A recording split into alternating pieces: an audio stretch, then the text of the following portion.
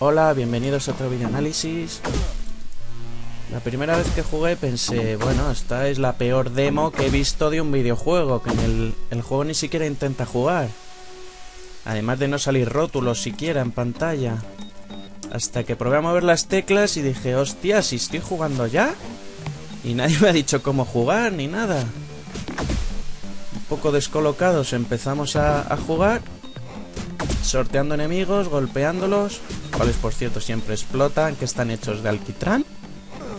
Y vemos que para golpearlos hay que ser un poco exacto, porque en cuanto te acercas un poquito, te matan. Y ahora he perdido una vida. ¿Saldrá Game? ¿Qué saldrá? Pues sale la selección de personajes. Son seis. Bestia, Cíclope, Gambito, Rondador Nocturno o Merodeador y Psylocke o Mariposa Mental, como la llamamos aquí en España. Pero bueno, yo siempre he sido más de Lobezno, así que vamos a él. Otra vez el mismo nivel. Nos lo tenemos que aprender de memoria los niveles para recibir pocos daños y aún así nos joden igual.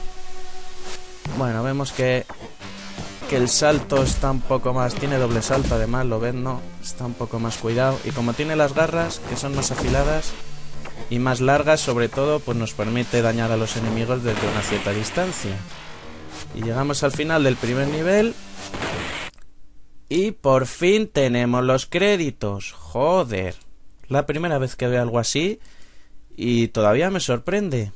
Todavía me sorprende. Y eso que es un juego, como podemos ver, del 1995. o sea que vaya tela. Además, como podemos ver, aparte del pitido característico que nos va a dar dolor de cabeza durante casi todo el juego, casi todas las pantallas de rótulos de historias es así, como si estuviéramos viendo un ordenador o jugando a un videojuego. Otra selección de nivel, vamos a probar a la mariposa esta, a ver qué tal, que es la única chica. Vamos al segundo nivel, esta tiene una espada bien larga y un ataque giratorio en el aire, además de la habilidad especial. Una especie de telequinesis ahí. Y bueno, es avanzar. El juego no es más que avanzar por el escenario. Y en este segundo nivel ya me empecé a frustrar un montón porque para abrir las puertas tienes que destrozar estos ordenadores y en vez de ir la electricidad por arriba va por abajo y te confías y te hace daño y te hace daño. Tienes que saltar para, abrir la puerta. O sea, es un diseño de, del nivel malísimo, pero malísimo. Porque cualquier cosa te hace daño y te mata, y te mata. O sea, cuando das en un puzzle, cuando, cuando lo vas a resolver, pues no sé, te tienen que dar alguna eh, facilidad ya que lo has resuelto. En fin, llega mi personaje preferido es este gambito porque además de tener el, el bastón este que es bastante largo, tiene el ataque de distancia que es las cartas, lanza una carta de la baraja y, y, permite hacer daño desde fuera. ¿Ves? ¿Ves? ¿Ves? Que tienes que saltar, es que tienes que saltar. Y cuando no sabe, no te conoces el escenario, pues te hace daño, te hace daño. En fin, seguimos avanzando, buscando otro ordenador que nos hace daño, nada más darle, otra vez nos vuelve a hacer daño, nos han electrocutado, intentamos saltar para sortear y acabamos en el puto piso de arriba. En fin. Acabamos el segundo nivel en una plataforma y subimos. Y otra carga. Vamos a elegir a Cíclope ahora, a ver qué ataques tiene. Bueno, subimos y lo primero que nos encontramos es que aquí a la derecha hay un cartel de exit, que normalmente en los juegos suele significar por donde hay que ir, pero como no hemos leído la historia, pues tenemos que destruir un robot. puto cíclope tiene un ataque que no da a nadie. Así que vamos con Gambito al jefe final, que para ser el primero me pareció bastante difícil. Y ojo a la música que ya me empezó a dar, a dar dolor de cabeza. Porque pese en, algunos, en algunas pantallas no estar mal, hay que ser justo. Ojo a estos momentos. Se supone que está como gritando la máquina o qué, pero... Pero la Mega Drive, que la verdad el sonido no es que sea su fuerte, pese, a tener buenos temas heavy. Aquí ya me desconcentraba totalmente. Lo vencemos, cogemos bolitas de estas de ADN, que son la vida en el juego. ¿Y ahora que tenemos? ¿La tercera pantalla? No. ¿Qué tenemos ahora si Gambito logra ubicarse? Pues volver por donde hemos venido porque se está destruyendo este mapa y el mismo nivel reciclado en sentido inverso y con un tiempo para volver y todo lleno de fuego y ahora sí por sí eh, la salida de emergencia ¿y qué tenemos como premio? Pues un puto pitido que ya nos termina de dar dolor de cabeza y que hace que no nos podamos acabar el juego en una sesión, pero no porque sea demasiado difícil, que tampoco es muy difícil si te aprendes el patrón de los enemigos y su ubicación en el mapa, sino por el dolor de cabeza que da la puta musiquita. Excepto, como he dicho, que en algunos momentos, como en este caso, pues es aceptable. Aquí tenemos unos enemigos que están en el fondo y no podemos darle. Minas al lado de la vida que te joden. Y torretas que son indestructibles. Ya me dirás tú si es justo. Ya me dirás tú lo justo que es esto. Y además estos hijos de puta que estáis viendo que son indestructibles excepto cuando lanzan la puta vara láser y te joden. La única posibilidad es tener a un personaje... Nah, da igual, da igual, da igual, o sea... Iba a decir tener un personaje como Cíclope que puede dar desde distancia, puede dañar desde, desde una distancia prudente, pero aún así, aún así hay en algunos momentos que no, que no como en este caso. Tengo que saltar y hace scroll hacia arriba la pantalla y no le hace nada. Y es que no le hace nada, tú. Mira, mira, mira, es imposible. Y encima detrás tiene unas minas. Nos van bajando la, la vida, la tierra en el fondo que se está riendo de nosotros. En fin, las putas torretas indestructibles, el hijo de puta este. Intentamos avanzar como podemos.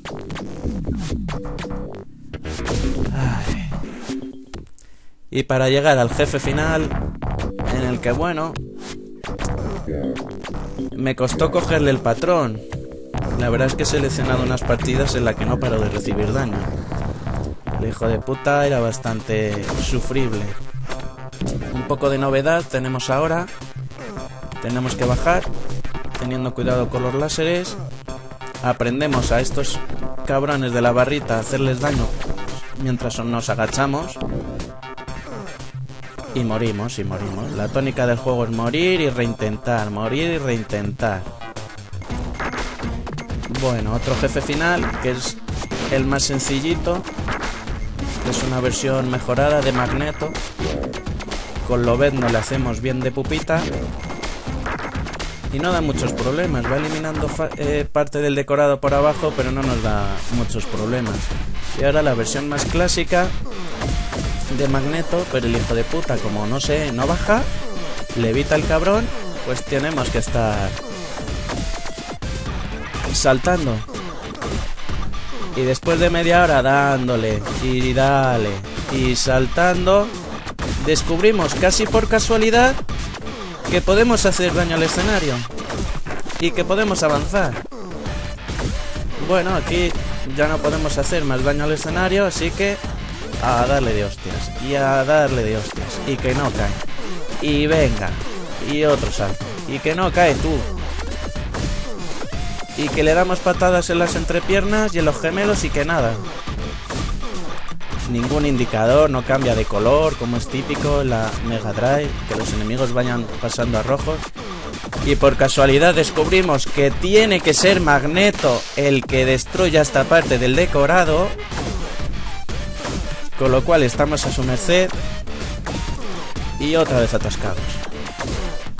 Yo cuando jugué aquí vi esta parte de la derecha que es como una especie de, ascensor. De ascensor, bueno, de teletransporte. Y le intentaba empujar a Magneto, pero no podía, estaba ahí atascado. Ahí atascado. Y que nada. Y que no se mueve. Y una barrita de vida. Y que no se mueve. Así que tuve que reiniciar y con Lobezno y sus uñitas de adamantium, le tiré para adentro. Le tiré para adentro y le derroté. Y Magneto se convirtió en otro personaje seleccionable. Como podemos ver, se nos une. Aquí está. Y en teoría debería de ser un personaje bastante poderoso, ¿no? Es uno de los X-Men con más nivel. Pues salta bastante, no le evita el cabrón y es muy lento, así que no, no me convenció demasiado. Además anda como si fuera un, jefe. Avanza como si fuera el puto amo. Tiene un salto que en esta pantalla es inútil porque saltas y te caen piedras encima y además parece que atraviesas todo el decorado otra vez. Y así un buen rato. Encima que hay unos hijos de puta que, que te hacen la croqueta y, no paran de rascarte los huevos. Así que, ¿cuál es la opción? Coger al overno y agacharse y darle caña. En, este jefe final no para de lanzarte mierda y una vez que consigues subir, pues no le haces nada. Tienen que ser en momentos muy muy puntuales. Y es que en eso se basa el juego, el juego. Aprenderte de memoria cuál es el héroe mejor para esa pantalla y jugar con él, no tiene más. Pero yo creo que en cada pantalla debería de ser jugable con cada personaje, como mínimo jugable. Porque hay personajes como Bestia, en el que en casi ningún momento son útiles, como después veremos. Este, bueno, incluye algo de novedad, empujando las, las torrecitas esas, las columnas. Y en este jefe final, que está bastante bien, intenta meter como efectos tres, dimensionales, perdón,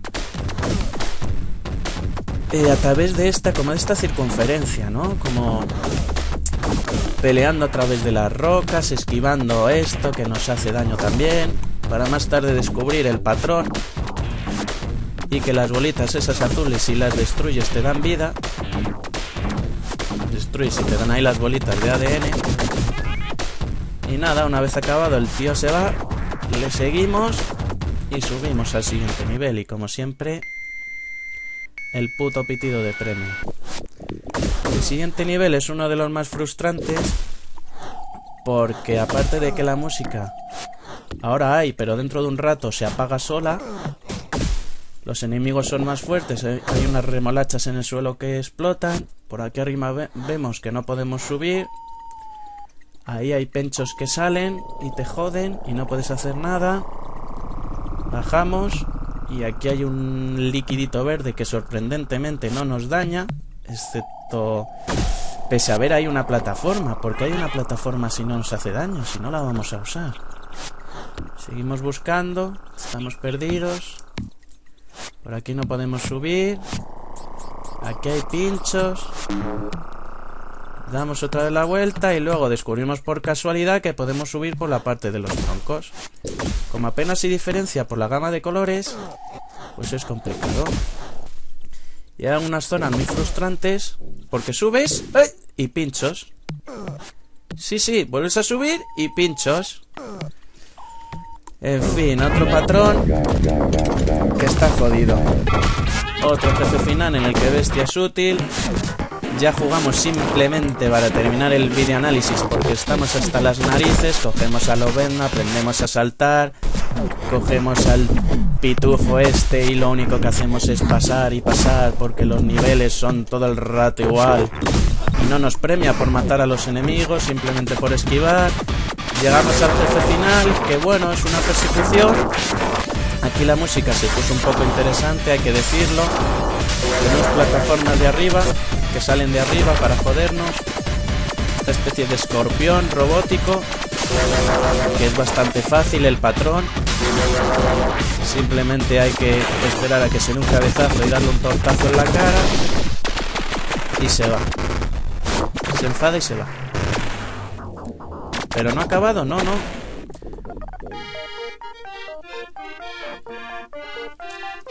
Porque esa musiquita que recuerda mucho a a Regreso al Futuro, precede a una pequeña persecución y unos mini bosses que no quiero enseñar, unos mini jefes que, que bueno, son originales, por llamarlo de una forma. No, en realidad no. En realidad son tus los mismos personajes que seleccionables tienes que vencerlos. Pero bueno, como no quiero enseñar los jefes finales, pues ahí quedan. Luego tenemos que, como unos créditos finales, en el que la música se pone un poquito interesante, pero en el que duran mucho, duran mucho los créditos. No sé por qué. Están un montón de rato ahí esperando a que pasen. Porque no sé, a lo mejor esperas que haya un vídeo final o una animación final, pero no. Y me llamó mucho la atención que viendo los créditos, ya que estaba triunfante por haber conseguido pasarme este juego, justo en el momento en, los, en, en los créditos en los que sale el, lo responsable del efecto de sonido, sí, sí, lo estáis escuchando, sale el, el peor efecto de sonido posible, el que nos da dolor de cabeza. Y bueno, ¿qué decir del juego? Pues está bastante bien valorado, está considerado como un gran juego, como incluso el mejor para muchos de la Mega Drive. Para mis sensaciones finales me ha costado muchísimo pasármelo porque era muy pesado. La música la verdad es que no te mete en ambientación, salvo en contadas oportunidades. Y en general un juego de X-Men muy muy pasable, muy muy un poco deficiente la verdad.